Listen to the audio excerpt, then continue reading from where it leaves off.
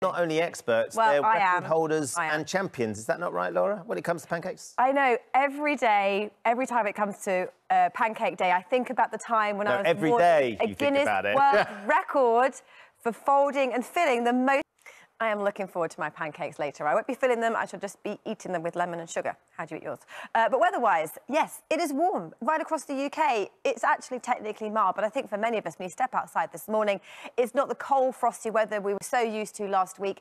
It's cloudy, it's mild. There is some rain around through the Midlands, southwest England. It will soon move its way through the London area, East Anglia, and the southeast, where it may well linger all day, but brighter skies follow. Wales, southwest England will see sunshine and showers, a blustery southwesterly wind as those showers move through. So make sure you take an umbrella if you're heading out for a walk here. Scotland and Northern Ireland largely dry with some decent spells of sunshine. 10, 11, 12 degrees are high today with a southwesterly wind and getting warmer still as we head into the weekend.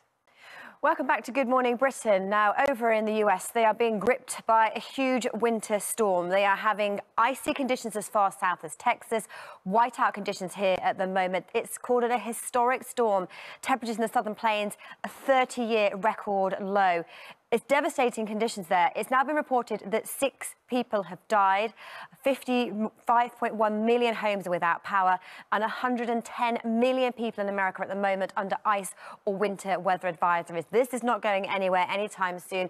We are set to see significant conditions of snow and blizzards and ice, and that is one to watch as we head through the next few days. And actually, it's the change in weather here, the dip in the jet stream that's helped to change our weather here in the UK to this milder conditions we've been experiencing.